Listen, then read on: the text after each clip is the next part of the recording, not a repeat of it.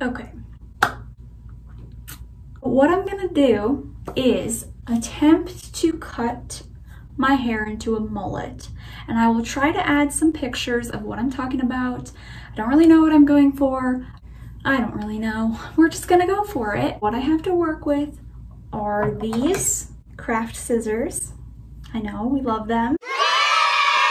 I'm gonna get into it.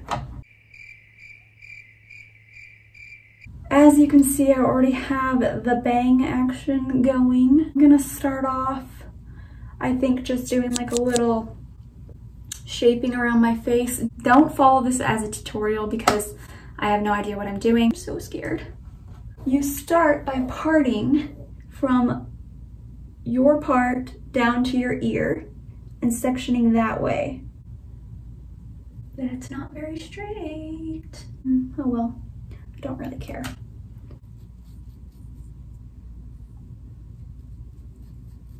Oh my goodness. Did that even do anything? We got that one. This little guy. That's a lot more than like it looks like it cut off. Okay, I did see this other technique where the guy like, he pulled this. He took sections and then pulled it like, like this horizontal. And then he cut it the same length as the bangs, horizontal like that. And it made like a nice little, you know, decline type dealio. I don't know if I want to do that. I'm so scared. Oh. Hmm. Interesting. I'm already tired. It's just stressful. I'm not tired. I'm stressed because I don't want this to look disgusting.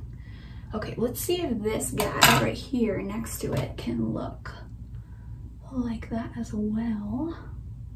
My goodness, I'm not even cutting anything. Oh, I'm so scared. Okay. I didn't cut the big piece because I got scared. Committing, we're committing now. We're gonna take half of this guy and then I'm gonna try that one technique. And if it starts looking okay, then I will do it to the full half that doesn't make sense. Whatever, I'm just gonna do it. Okay. I just feel so stressed. Honestly, the camera is really stressing me out. Oopsie. So here's what I'm gonna do. I'm gonna not film what I'm doing because I need to just take my sweet time, not worry about talking, explaining, because I shouldn't be one to explain because I don't even know what I'm doing. So yeah, in the next clip, you will just see what we've come up with. I look like Peter Pan. Maybe it's the green top. No, not the green top. I think my face shape is just too long for this. If I had like a cute circle face, it would be better. I've always wondered what I would look like with like really short pixie cut hair though, and now I know I do not like it. Ugh. So mad about what I did. It's gonna take so long to grow out. Ugh. I wear my hair up so much and now I can't. Well, this is how we're gonna end it. It's, it's okay.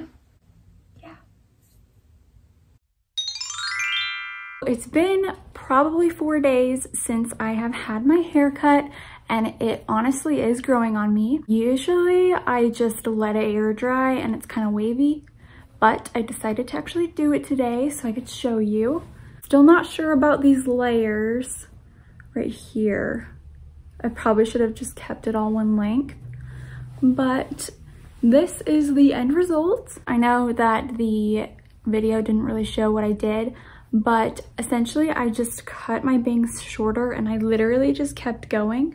Um, it did freak me out that, oh, see, I just don't know about this layer here, but like, what am I supposed to do about it?